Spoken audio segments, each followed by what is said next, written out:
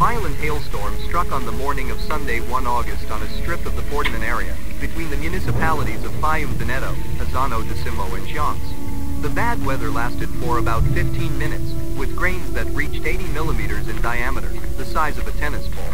The requests for help from the local fire brigade command began before 7.30, and came from Fiume Veneto, where a factory in Via Molino was hit in particular on the roof, as well as by Chions and Azzano Decimo, with damage recorded in large barns.